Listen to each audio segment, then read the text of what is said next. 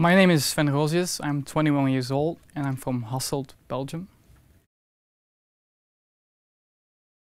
Well, I, I was always interested in the States and I always had to, I wanted to go there. And now we got the opportunity through my college to go to, uh, to Washington, D.C., which was a great opportunity because it was like a very interesting city in, in, in, the, in, in the States as well with the political stuff and the business stuff. So I checked out the website immediately when we got the announcement and I was, I was immediately ready to go. So yeah. I studied and interned at the Washington Center in Washington, D.C. Um, I interned at Electional Technologies, which is a firm that basically does everything um, online-wise for campaigns, uh, political campaigns, and also NGOs. And I was enrolled in a political leadership program at the Washington Center. It was mostly arranged through my university, University of Leuven, um, and they gave us all the, the links and, and the things we needed to do.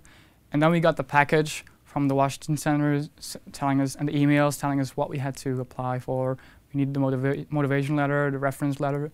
So it was basically all, you know, step-by-step -step plan, which made it quite easy, the application process. One thing that's important is the motivation letter.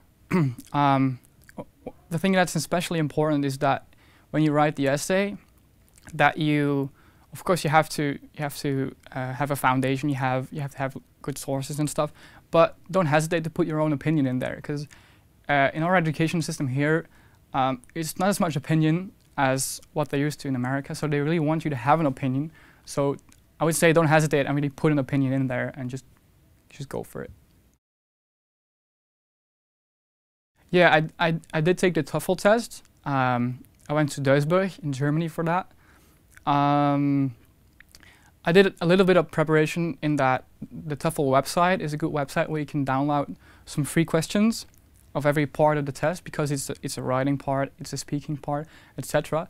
So I think um, I think for most students at universities in Belgium, they don't have to be afraid of the test because our English standards is, are, are good.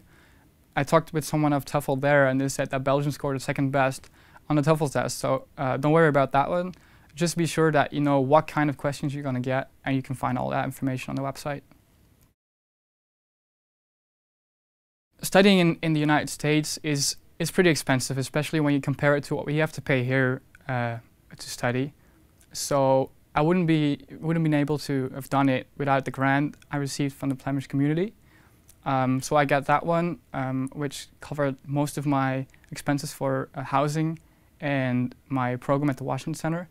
There was a, a, few, I mean, there, were, there, was more money needed for the program at a whole, as a whole, but uh, without the grant, I, would never have been able to do it. So I'd like to take this opportunity to thank the Flemish community. well, there, there were many highlights of my, of my, my four-month stay there. Um, I think on a professional level, in my, in my program, I did, a, I did, my class was in presidential campaigns.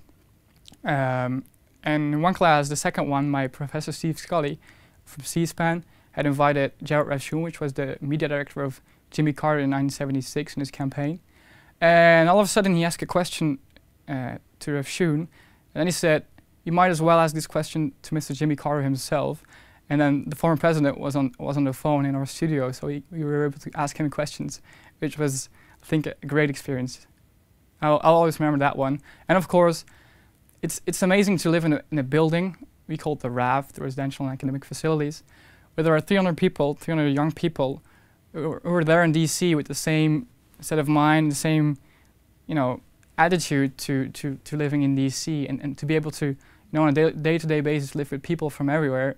I made a lot of friends there and I'm sure that even though they live in America, in Australia, in South Korea, in Canada, in Mexico, I'll see them again and that's, that's, that's a great thing, I, I think.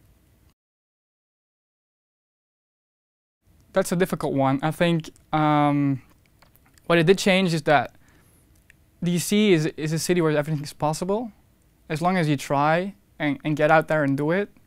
So it was, for me as a Belgian, it was a step to do that and, and go out there and just shoot people emails or, or just give them a call when you, you know, want to talk to them or because they've been in your position once. They've been an intern or they've been young and in, in un at university.